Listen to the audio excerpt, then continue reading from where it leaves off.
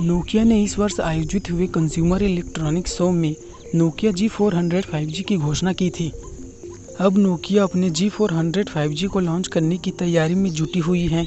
कुछ media report के अनुसार इस फ़ोन के कुछ फीचर्स लीक हुए हैं। नोकिया जी फोर हंड्रेड में क्वालकॉम का स्नैपड्रैगन 480 प्रोसेसर लगा हो सकता है। इस फ़ोन में छः जी की रैम और एक सौ जी की इंटरनल स्टोरेज दी जा सकती है। इसके अलावा यह phone triple rear camera setup को सपोर्ट करता है। इसमें 48 मेगापिक्सल का प्राइमरी कैमरा 2 मेगापिक्सल का अल्ट्रा वाइड एंगल कैमरा और 2 मेगापिक्सल का कैमरा दिया जा सकता है तो वहीं 8 मेगापिक्सल का फ्रंट कैमरा भी हो सकता है। तो वहीं डिस्प्ले की बात करें तो फ़ोन में 6.51 इंच की स्क्रीन दी जा सकती है, जिससे एलसीडी डिस्प्ले मिल सकता है। फ़ोन में 5000 हज़ार की बैटरी लगी हो सकती है।